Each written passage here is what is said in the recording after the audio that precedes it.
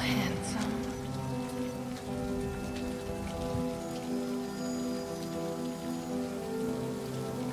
What a day, eh?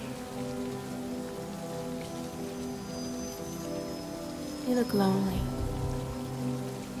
I can fix that. You look like a good Joe.